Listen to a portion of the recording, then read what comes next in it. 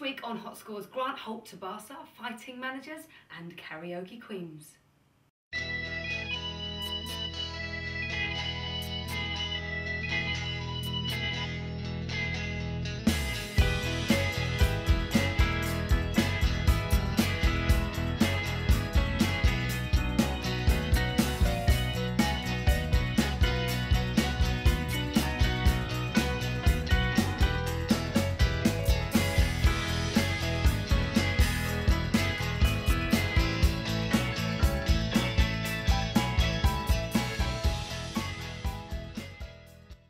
The Racing Snake wants me to talk about Barca and how they managed to score so many goals without an obvious out and out striker.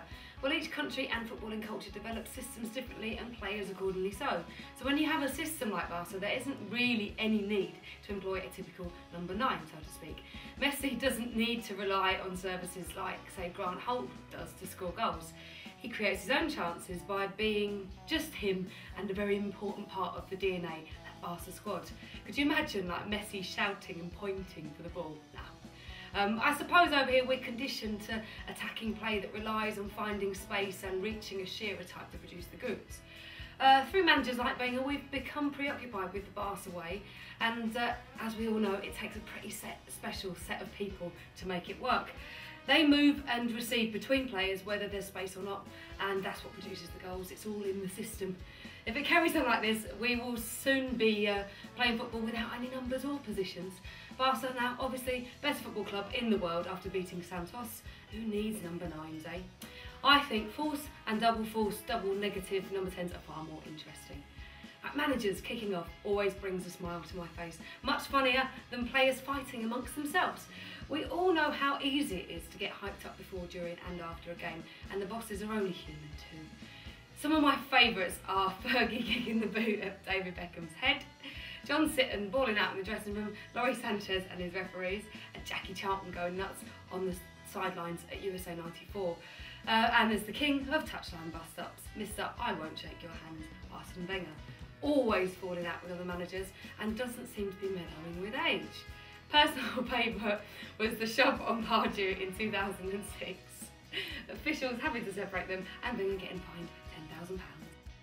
I've searched high and low and there isn't a video online of Per Mertesacker singing Rihanna on a team building night out at a top Mayfair spot. Damn it. Apparently he did a really, really good job of it and that beggars belief. I wonder what made him choose Rihanna. Usually karaoke's a bit of Elvis, Tom or Frank and that brings out the X factor in people. But obviously Rihanna does it prepared. If you want to see real footballers singing, check out Robbie Keane, who loves a trad tune or two, or uh, um, Arshavin singing live, singing live on Russian TV, singing a kids' TV thing.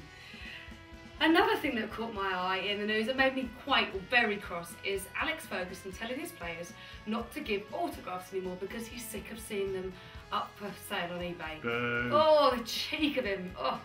What is it? What's he doing stalking autographs on eBay anyway? At Honkinson suggested he might be looking for a cheap midfielder. I'd say he want an expensive one to spice things up a bit in their midfield. He really is a miserable git to come out with something like that. It's not like, you know, United have never made a profit from selling on players. Come on, Fergs, don't, you just don't pick on the little people uh, and stop them selling their signed memorabilia. Leave us alone.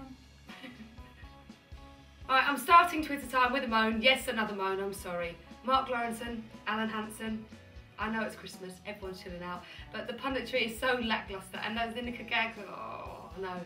I see a lot of people really hacked off on the Twitter timelines with the poor quality of analysis on the BBC. Hansen is on 40 grand a show and he all he can say is, well, Chelsea are lacking something.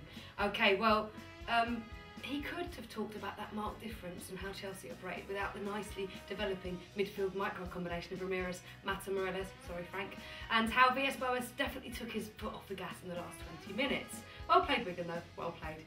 Love it or hate it, Twitter gets the news out the instant it happens. Uh, I want to wish Blackburn Scott Dann a very speedy recovery from his groin strain. Um, groin strain, groin injury, or more specifically, his ruptured testicle. Get well soon, Scott. really bad. It's really. I can't imagine what it feel like, but Scott, I'm sure it's horrible. Um, chin up, Rovers fans as well. Not every, you know, it's not going too well for you right now, is it? Like Twitter, I'm going to point you in the direction of Arshavin's timeline. Uh, you know he can sing, but did you know he can talk about Shakespeare and psychology and his thoughts on female fans? For all of you who follow Tony Dorigo, you would have seen him digging into Yeonju during the City game. He said he thought Arshavin was in hiding in Siberia yesterday, while his sister put in an appearance on the field. Uh, although Tony did explain his tweets quite nicely. His theory is that when a striker has a bad day, it's because a body double is stepping in for them.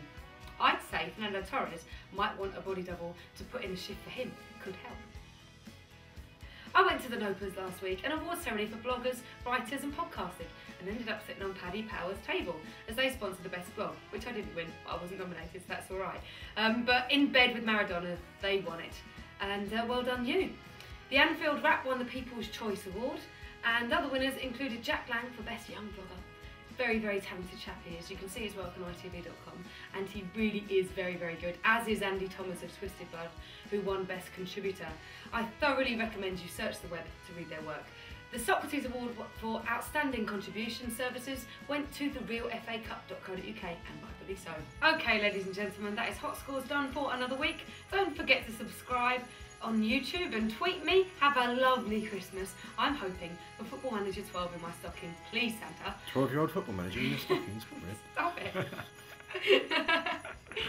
Everyone who's anyone knows that Sports Interactive are the king of all Football Manager games.